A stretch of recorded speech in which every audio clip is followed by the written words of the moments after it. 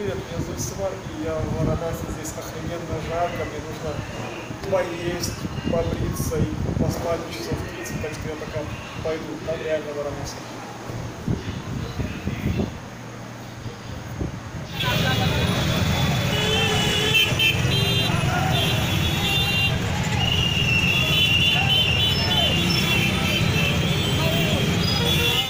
Это был обычный перекресток Варанаси вечером, а сам по себе город ничем особо не примечательный, типичный индийский город, но в нем есть ровно одна особенность. Это особенность священная река Ганга.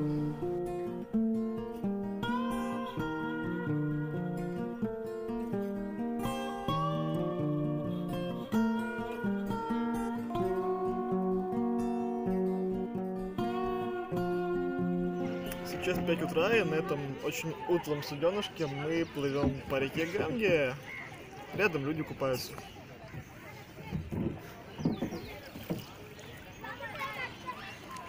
Kalapin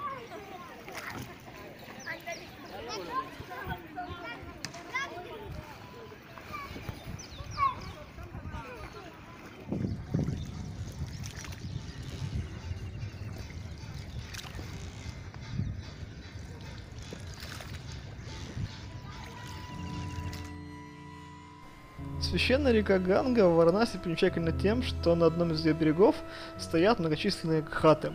Гхаты это ступени, э, вверху которых находятся различные особняки и дворцы, потому что каждый махараджа в Варанаси пытался построить свой дворец круче соседнего, а внизу ступенек находятся погребальные э, места, места для сжигания, и на них сжигают людей. Считается, что если тебя сожгли в Варанаси, то твоя душа выйдет из круга сансары и больше не будет перерождаться в этом бренном мире. Поэтому желающих быть сожженным в Варанаси очень много.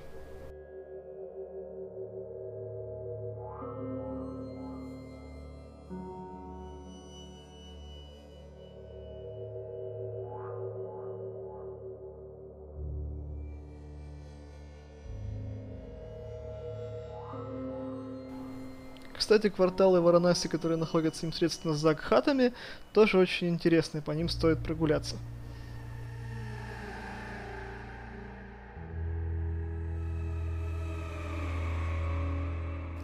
А каждый вечер на ступенях центрального Гхата проводят великую пуджу. Это такой себе молебен за мир во всем мире. Ритуал, а, цель которого благословление всего живого, чтобы всем было хорошо. Это очень шумно, очень красочно, нифига не понятно, но очень-очень шумно.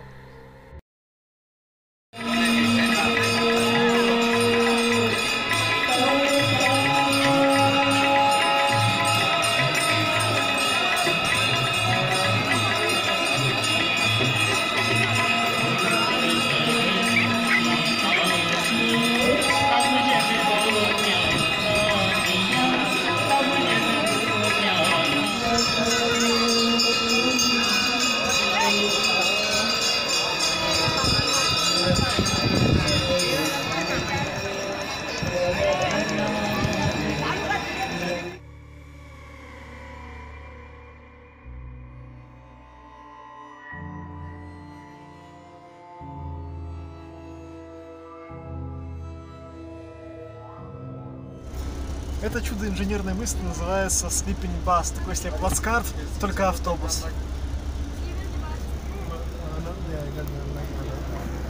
Есть нижние полочки, есть верхние полочки. И вот наша нифига не видно купешечка.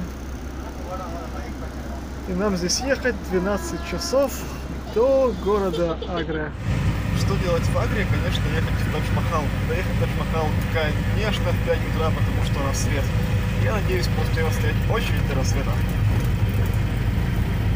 На входе дают бесплатную бутылочку воды, обещали шоколадку, не дали, и вот он Тадж-Махал. Сегодня здесь немного людей, я надеюсь, дальше будет немного.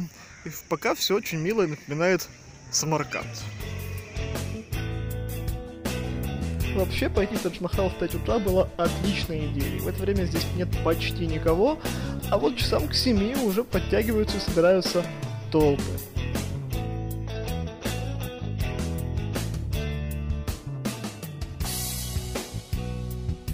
Про сам Тадж Махал я ничего особенно сказать не могу. Он, конечно, интересный, это чудо света и все такое, но мне больше по душе мечеть из или Бухары. Да, там можно погулять, в Тадже имею в виду, побродить, но территория не особо большая, и кроме центральной усыпальницы и двух боковых мечетей смотреть там не на что.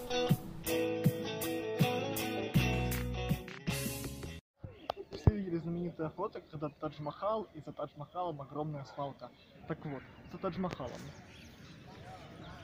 Это река Ямуна, и никакой свалки здесь и в помине нет. Возможно, когда-то была, и это фото растражировано, сейчас это обычная чистая река с чистой набережной.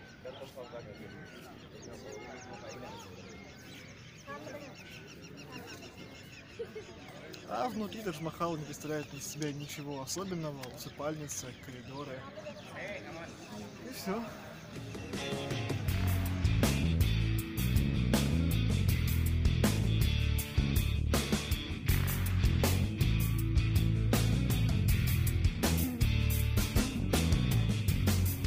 А это индийский завтрак, что мы скормили в отеле. Вареная чечевица, лепешки, лепешки, лепешки, сок.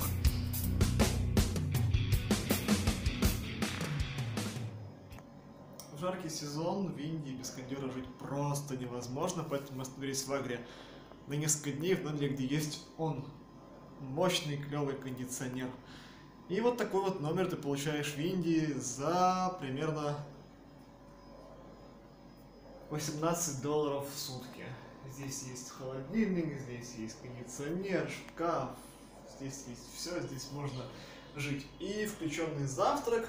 Но кроме завтрака с едой здесь плохо, поэтому сейчас будем еду готовить.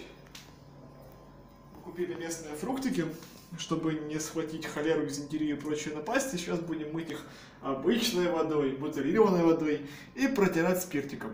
И запивать спиртиком. Шучу.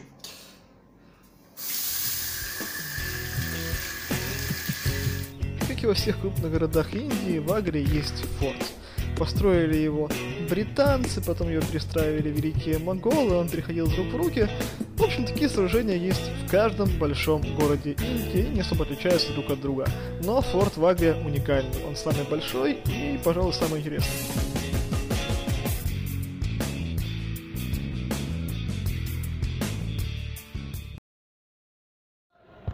Форт — это одно из мест, которое нужно посетить в Агре, я считаю, кроме Тадж-Махала. Говорят, он круче даже Делийского форта. Он действительно большой, крутой, белокаменный, мраморный.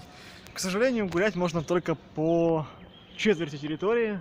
Остальные этой четверти заняты индийской армией, ходить туда, увы, нельзя. Но и то, куда ходить можно, очень красивое.